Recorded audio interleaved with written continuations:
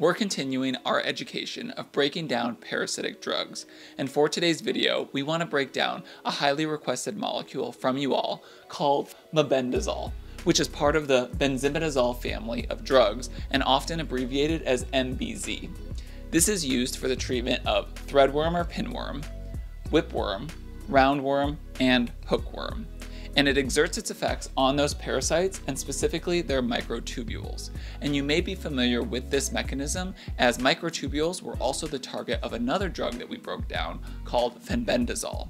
Now, mebendazole targets a specific component of those microtubules, as microtubules are composed of both alpha tubulin and beta tubulin that come together to form dimers. And then, once those dimers polymerize into those microtubule chains, they're able to help with support of the structure as well as transportation of nutrients around the parasite. But mebendazole comes in and it blocks beta tubulin from forming dimers.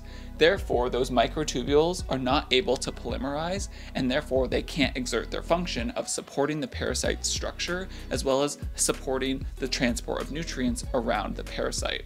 So we see the decreased structural integrity of the parasite as well as decreased movement of critical nutrients such as glucose. This further leads to a form of cell death known as apoptosis.